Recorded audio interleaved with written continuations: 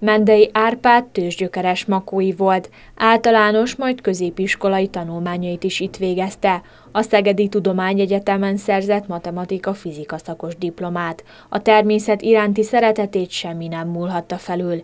1961-től igazolt természetjáró volt. Tagja lett a Csongrád megyei Természetbarát Szövetség elnökségének, bronz és ezüst fokozatú gyalogos, valamint kerékpáros túravezetői engedélye rendelkezett.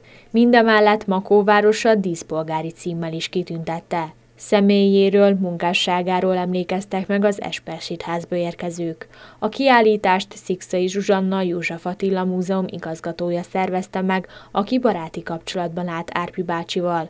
Közkedvelt témái közé tartozott a keresztek fotózása, azonban a Keresztfához megyek című tárlat nem csak a húsvét miatt vált aktuálissá. Ezek a kis építmények, ezek beleolvadnak a környezetünkben. Van, aki észre se veszi őket.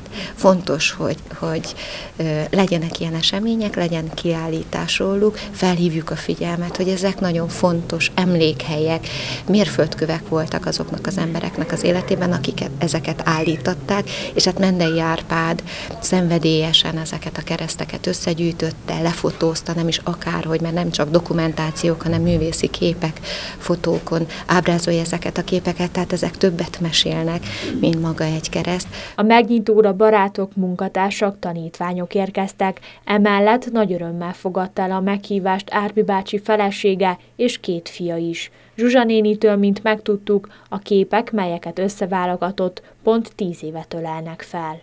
Mindent, amit, amit szeretett és tudott, azt ő azt hitte, hogy bele fog férni az idejébe is. Úgyhogy ő mindenbe nagyon belevetette magát. Akármiről volt szó, amit ő talált ki, vagy ő neki javasoltak, és meg akarta valósítani, ő azt mindent meg akart, és hát persze, nagy alapossággal, hát idő zavarba volt mindig, de nagyon-nagyon legjobban a fotózást, meg a természetjárást azt nagyon-nagyon szívesen csináltam. A jelenlévőket Páfai Zoltán római katolikus plébános köszöntötte, aki az elvesztés jelenségéről beszélt. Emellett közreműködött a dr. Mihálka Györgyvárosi vegyeskar, énekükkel még bensőségesebbé téve a megemlékezés pillanatai.